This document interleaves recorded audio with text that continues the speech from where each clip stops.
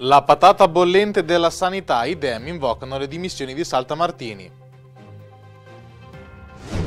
Caso Soria, variante approvata ma i residenti minacciano ricorso alle TAR.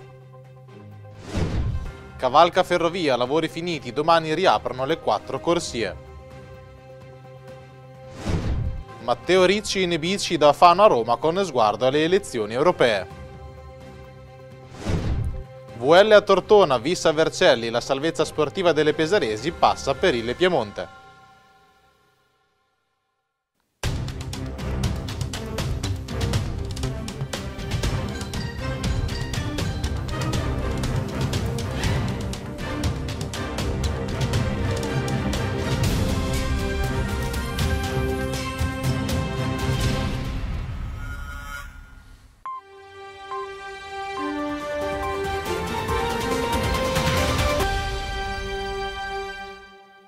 Una buona serata telespettatori di Rossini TV e benvenuti a questa nuova edizione di Rossini News, telegiornale di oggi venerdì 19 aprile che apriamo parlando nuovamente della sanità pesarese al centro dell'attenzione dopo le doppie dimissioni dei suoi vertici dirigenziali.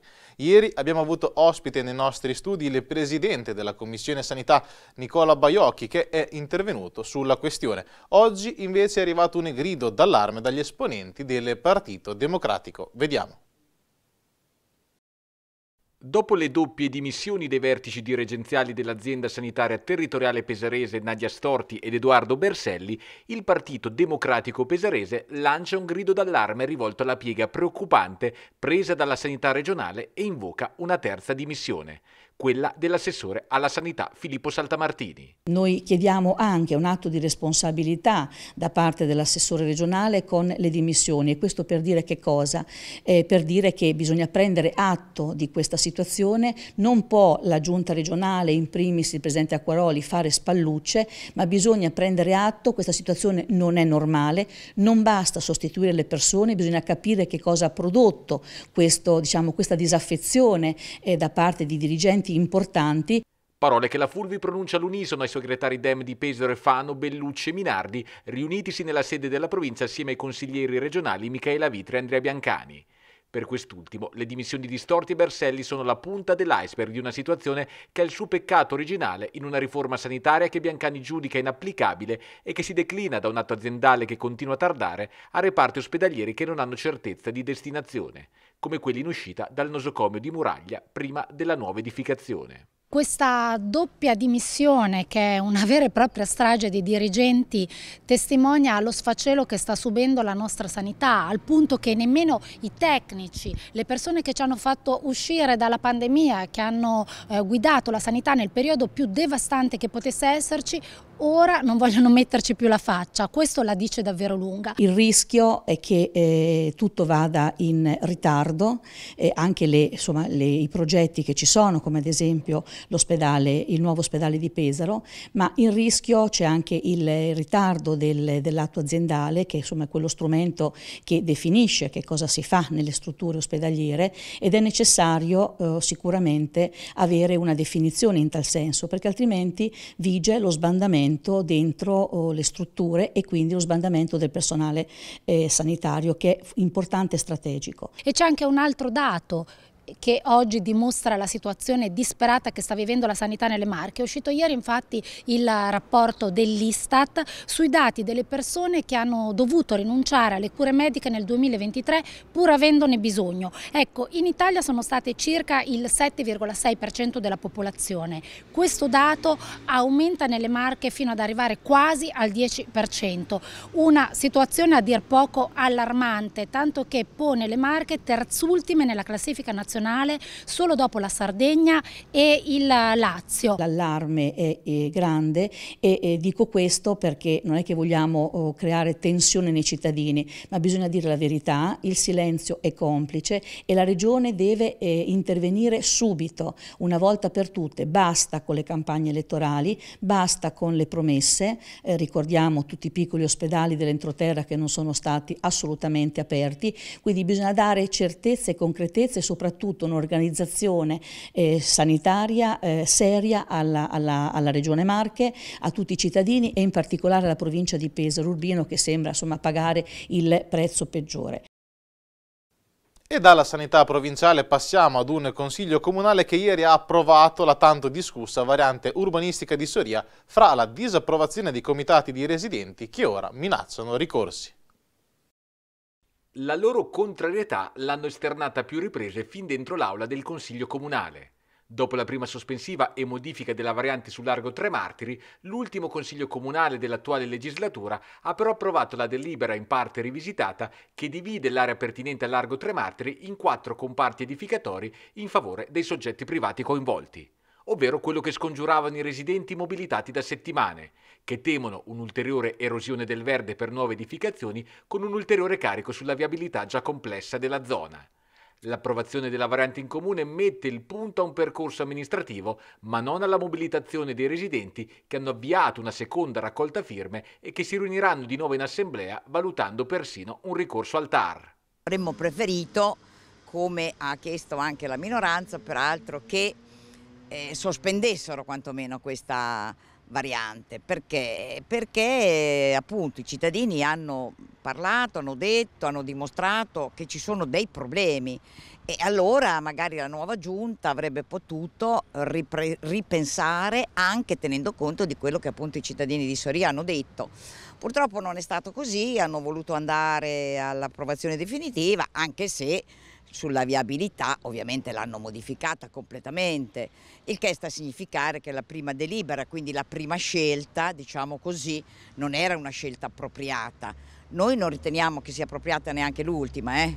naturalmente, perché abbiamo sempre detto fin dall'inizio che il grosso problema, oltre a quello della viabilità, era quello del verde, che vediamo qua alle mie spalle, unica zona verde prevista dal piano regolatore come verde e sulla quale hanno tirato una riga per far edificare due privati.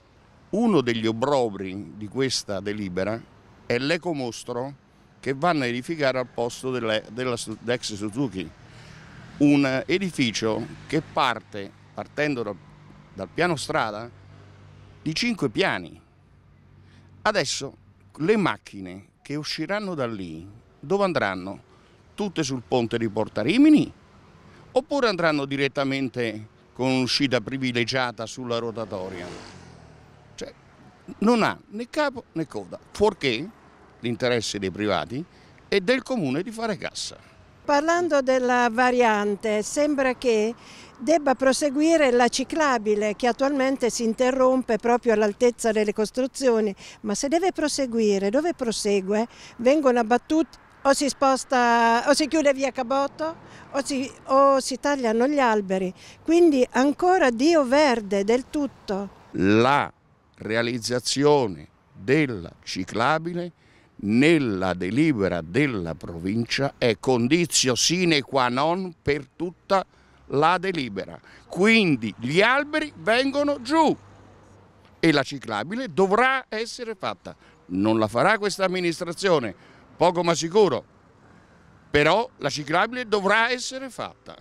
Quindi meno verde, più asfalto. Per una città che ha preso come slogan costruire sul costruito è il top. E sono finiti i lavori alle cavalca Ferrovia Pesarese che domani riaprirà alle transito in quattro corsie. Un cantiere lungo e tormentato che domani vedrà la bandiera a scacchi con una inaugurazione affiancata al sottopassaggio dei Cappuccini che tornerà percorribile nella stessa giornata. Da lunedì sarà ripristinata anche la viabilità in via Cardinale Massaia e limitrofe, aree in cui è stato realizzato un nuovo deposito di biciclette. Inaugurazione delle cavalca ferrovia alla quale non potrà essere presente il sindaco di Pesaro Matteo Ricci in quanto partito per un singolare viaggio in bicicletta.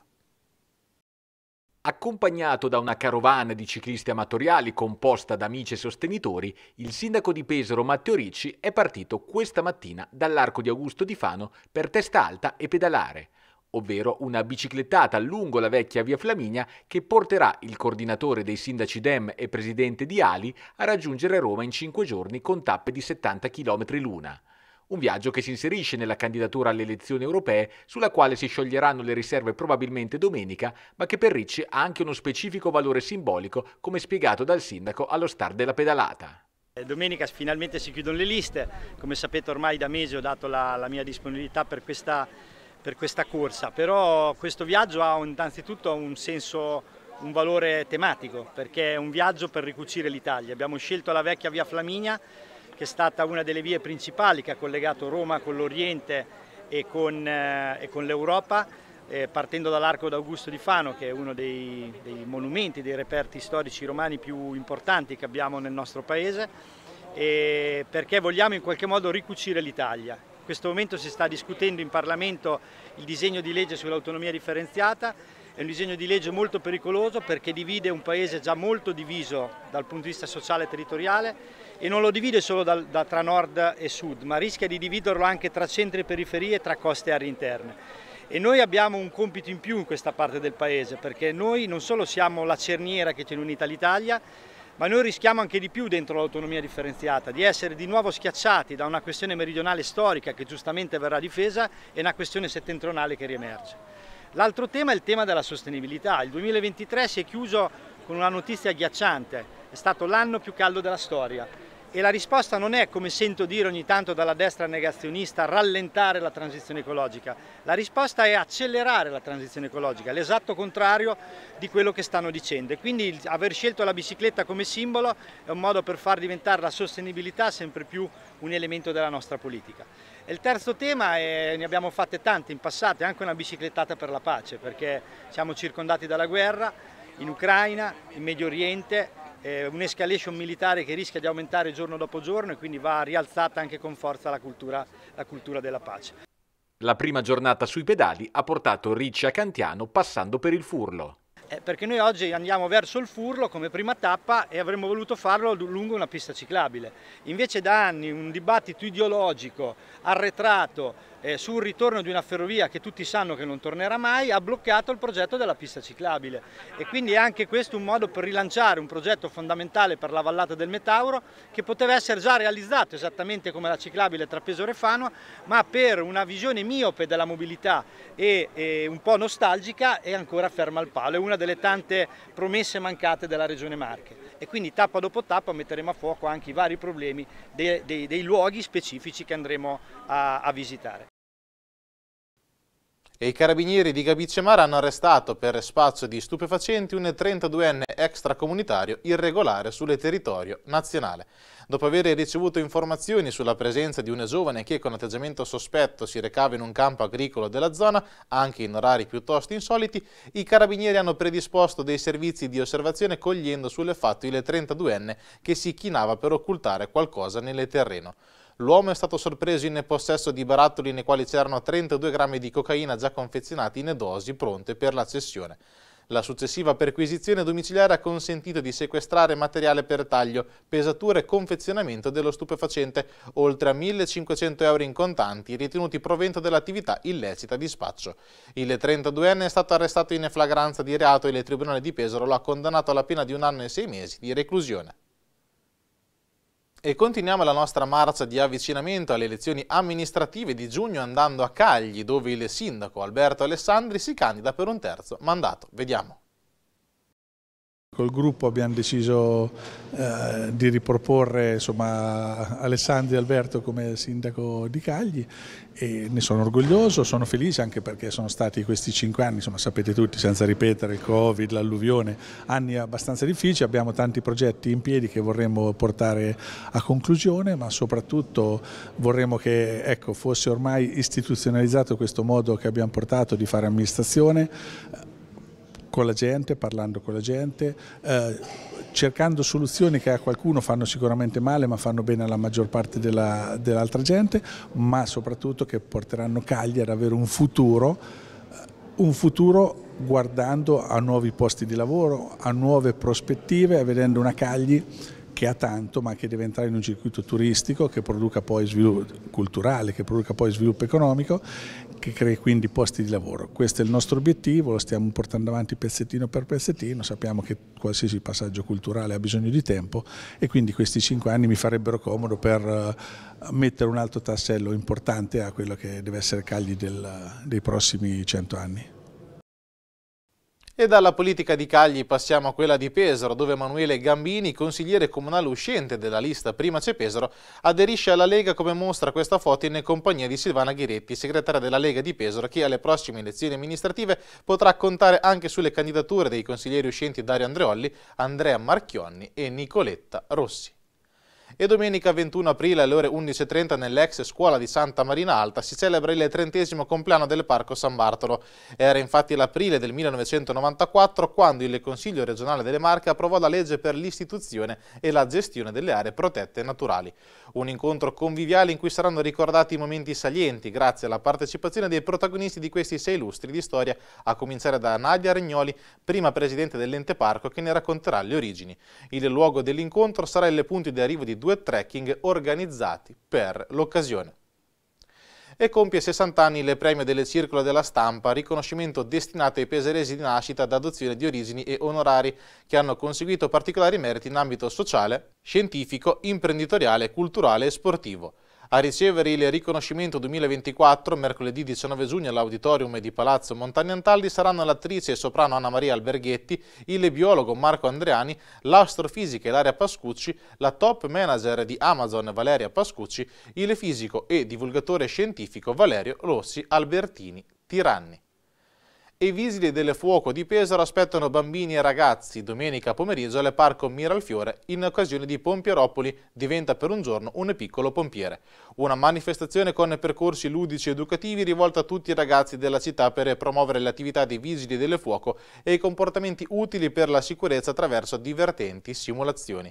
L'iniziativa è organizzata dalla Montesi Volley in occasione del 60 anniversario della società pallavolistica pesarese, nata proprio come gruppo sportivo interno ai Vigili del Fuoco un prestigioso riconoscimento per Fulvio Urbinelli.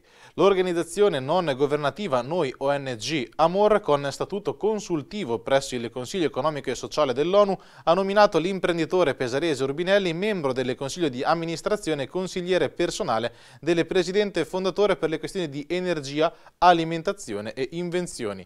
La nomina è stata certificata in Svizzera al Palazzo delle Nazioni Unite di Ginevra e domenica 21 aprile sarà una giornata all'insegna della camminata di solidarietà, un appuntamento del Lions Club Pesaro Oste a sostegno della lotta alle discriminazioni di genere. È una camminata di solidarietà che abbiamo organizzato per sostenere l'associazione Percorso Donna e, ehm, e, per presentare che sarà lo spin-off di un progetto eh, del Festival Incontri che sarà a Pesaro dall'8 al 12 di maggio.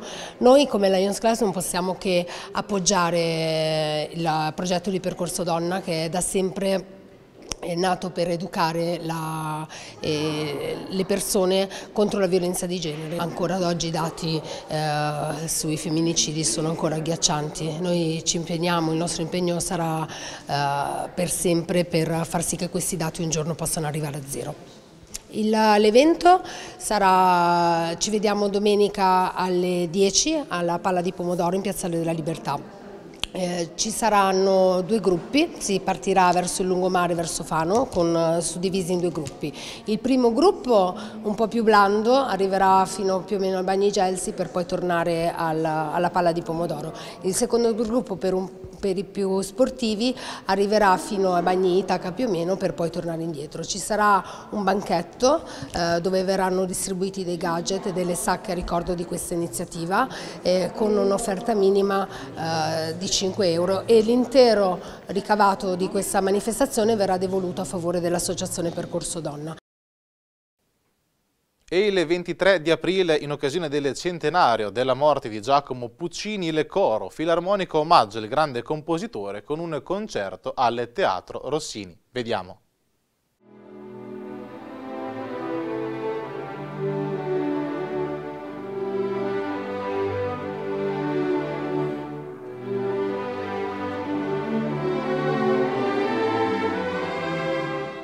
Giacomo Immortale, uno spettacolo promosso eh, dal Coro Filarmonico Rossini di Pesaro, lo possiamo vedere al Teatro Rossini eh, martedì 23 aprile eh, alle ore 21. Eh, questo spettacolo appunto per celebrare eh, l'anniversario del centenario della morte del maestro eh, sarà appunto un connubio tra prosa e lirica dove le principali arie tratte dalle, i principali cori del, tratti dalle maggiori opere del maestro come Turandot, eh, Tosca, Butterfly eh, saranno eh, inframmezzate dalla, dalla parte, dalla parte dalla prosa in, in cui eh, ci sarà anche la vita del maestro, quindi la parte umana del maestro, non solo quella artistica. Quindi aspettiamo tutto il pubblico per questo nuovo spettacolo sicuramente entusiasmante, martedì 23 aprile al Teatro Rossini di Pesaro alle ore 21 ed è stata presentata questa mattina presso la Lega Navale di Pesaro la 38esima edizione della regata sulla rotta dei Trabaccoli da Pesaro a Pola. Appuntamento organizzato dalla stessa Lega che da quasi 40 anni unisce Marche e Istria attraverso la vela nelle ponte del primo maggio. La novità, già introdotta un anno fa, è la manche unica da Pesaro a Pola prevista per il 2 maggio con partenza alle ore 16. Tra le novità anche l'approdo da Pola nel porto di Pesaro già dal 27 aprile di un'antica barca in legno del 1902. E concludiamo il nostro telegiornale parlando di sport e ricordandovi gli appuntamenti del weekend. Ottenute per la prima volta in stagione due vittorie consecutive, la UL ha bisogno di continuare a vincere per tenere vive le sue speranze di salvezza e ci proverà domani alle ore 19 in casa della Bertram Tortona. Nelle calcio a 5 domani impegno in trasferta alle ore 18 per l'Ital Service sul campo dell'Active Network Viterbo. Una vittoria significherebbe matematica prodo ai playoff. Lunga trasferta a Vercelli invece per la Visse Pesaro che domenica alle 16.30 affronti le Sestri Levante. Un'eventuale vittoria riaprirebbe anche le possibilità ad oggi remote di evitare i playout. Domenica alle 15.30 trasferta veneta per la Fiorini Pesaro Rugby che affronta Paese per provare ad archiviare il discorso salvezza. E con queste ultime notizie di sport termina qua questa edizione di Rossini News. Prima però di lasciarvi le previsioni delle meteo vi ricordo gli appuntamenti in onda sul nostro canale 80 a cominciare subito dopo questa edizione del nostro telegiornale con La Natura della Cultura Magazine, il magazine di approfondimento su Pesaro 2024 Capitale Italiana della Cultura che va in onda tutti i lunedì, mercoledì e venerdì alle ore 8, alle 13 e alle 20. Questa sera potremo vedere appunto l'approfondimento eh, della giornata e vi ricordiamo anche il riassunto della settimana sabato alle 12 e alle 19, domenica alle 15 e alle 21. Prima serata invece che alle 21.20 sarà dedicata alla Bicipolitana di Pesaro, un viaggio alla scoperta di questa meraviglia di tantissimi chilometri che appunto eh, potremo ammirare nello speciale condotto da Paolo Pagnini. E vi ricordo anche l'appuntamento con la nostra rassegna stampa, domani mattina alle ore 7.20 in diretta così come sul nostro canale 80, anche sul nostro sito, sulla nostra pagina Facebook e sulla nostra app, le repliche 8.20, 12.20, 14.20, 18.20. Domani mattina lo potete vedere, ci sarà il nostro sorridente Antonio Astuti. Ed è davvero tutto, io vi ringrazio per essere stati in nostra compagnia, vi auguro un buon proseguimento di serata e un buon fine settimana.